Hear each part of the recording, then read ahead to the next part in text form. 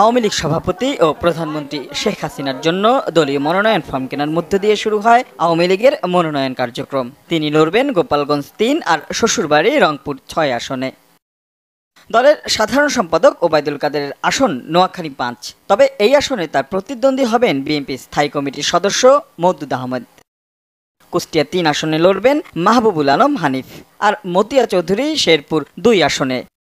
ঢাকা তেরো আসনের প্রার্থী হতে পারেন জাহাঙ্গীর কবির নানক। একই আসনে বিএনপির সম্ভাব্য প্রার্থী মোয়াজ্জেম হোসেন আলাল।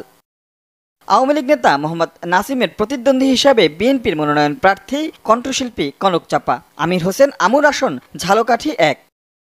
তোফায়েল আহমেদ লড়বেন ভোলা এক আসনে। তার প্রতিদ্বন্দ্বী হতে পারেন আন্দালিব রহমান পার্থ। বাংলাদেশ ক্রিকেট দলের ওয়ানডে অধিনায়ক মাশরাফির মনোনয়ন ফর্ম কেনায় সবার আলাদা দৃষ্টি থাকবে নড়াইল দুই আসনের দিকে।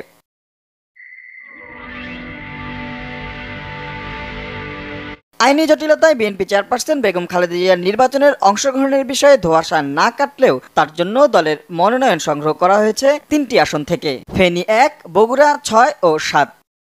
দলের মহাসচিব মির্জা ফখরুল ইসলাম আলমগীর লড়বেন ঠাকুরগাঁও এক আসনে। এ আসনে তার প্রতিদ্বন্দ্বী আওয়ামী লীগের সভাপতিমণ্ডলীর সদস্য রমেশ চন্দ্র সেন।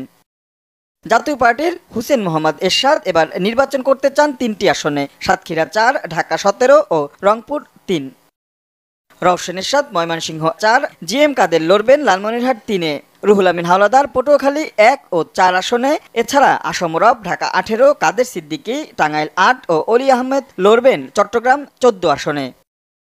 রাশেদ খান মিনন, ঢাকা আট আর হাসানুল্লাহ ইনু নির্বাচন করবেন কুষ্টিয়া দুই আসনে।